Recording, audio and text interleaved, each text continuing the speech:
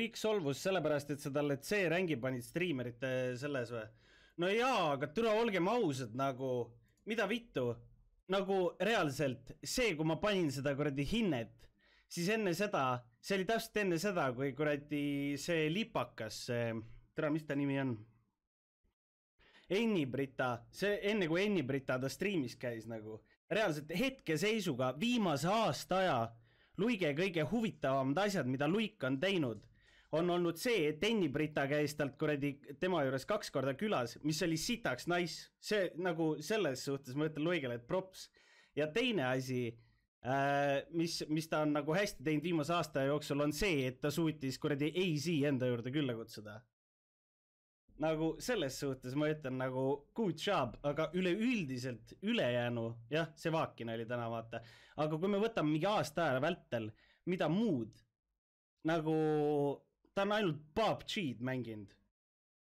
nagu kakskümmend neli seitse on mingi PUBG, nagu sorry, aga kedagi ei koti see ja siis ta istub mingi viiekümne, viiekümne vaataja peal ja siis ta on mingi mad teiste peale ja näitab näpuga mingi "Öö, mängib RP-d, mängib koodi mingi pohhu pole või? nagu reaalselt, jumala pohhu. nagu reaalselt ei koti ju. Et nagu see, see ongi nagu see, miks ma nagu temale panin nagu madalama mingi kuradi punktisumma versus mingi Kodir või, või kuradi, ma ei tea, kes seal mul veel mingi kõrgemal olid nagu. savi ju.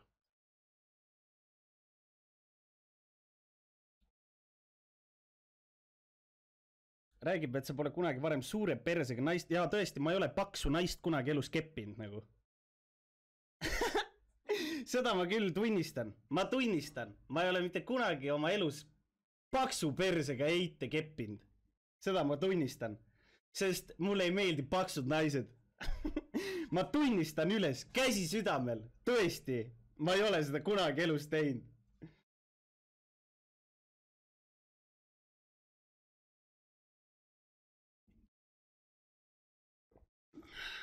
My bad. ja siis tuleb ära kummitus, ei kusagilt. mina küll olen paksu naisega, paksu persega naist keppinud. lõpeta ära kummitus, sa mingi kolm päeva tagasi pani tonni ju mingi venna peale, kes sa arvasid, et on naine, aga tegelikult oli mees, see Rannamaja saates. lõpeta ära. tõmban mõned vihmaussid ka peale ja jumala timm ma lihtsalt vaatasin seda härra kummitust, kes vihmaussi sõi ja türa, ma ütlen ausalt, mul oleks endal ka veits nagu noh, ma ei tea, nagu teeks isu ja mõtlesin, et türa küll, et vend ludistab neid nii mõnusalt alla lihtsalt mingi nagu spagette türa, oi, ja endal tekkis ka, et türa, seal peab ju midagi olema.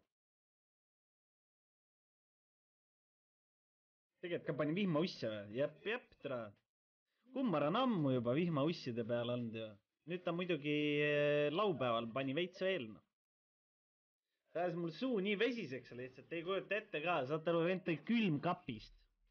vend tõi külmkapist, tõi vihmaussid letti lihtsalt.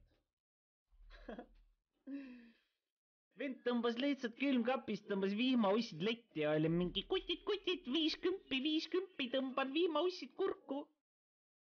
ja noh, asi jõudis palju kiirema lahenduseni. keegi pani mingi kümme saabi talle ja türa vend pani kohe, hakkas lahmama lihtsalt.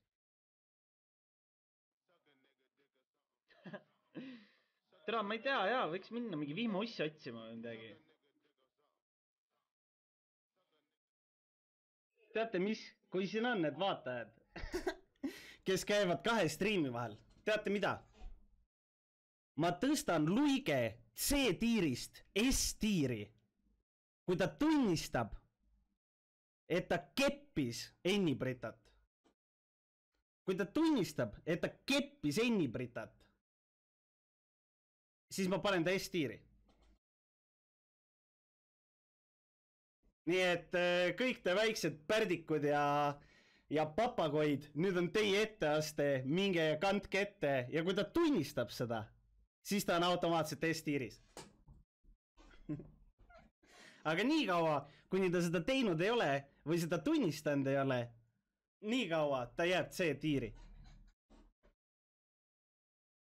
sest mina ütlen sada prossu, mina ütlen sada prossu, juhul kui mul ei oleks aget ehk siis me oleksime lahus, nagu praegu Luik oma naisega on ja Enni-Brita oleks mul kaks korda striimis käinud, siis ma oleks raudselt teda perse keppinud.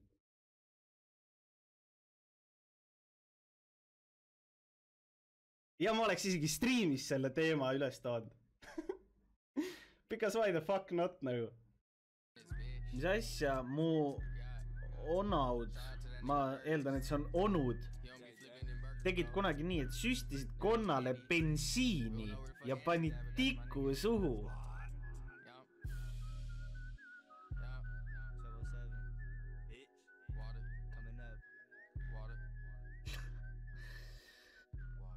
Imo, Imo, me peidime ikka väga vittuse vendi välja praegu. me peidime praegu, saate aru või? me praegu peitisime mingi inimese välja, kelle perekond on mingi, mingi max level lihtsalt mingi, ma ei tea. Mingid hälvikud. Ta tunnistas, no kui ta tunnistas. Okei okay,, kui ta tunnistas, siis ta on S-tiir, tere siis ta on S-tiir. andke mulle kohe, andke mulle kohe äh, see kuradi Eesti striimerite tier list. ja korduvalt või no selge, no selge. andke mulle tier list ja me teeme parandused sisse. andke mulle tier list ja ma teen parandused sisse ja härra Strikest küsib klippi, aga härra Strikest, Youtube streaming on nii pask, et seal ei saa teha klippe saate aru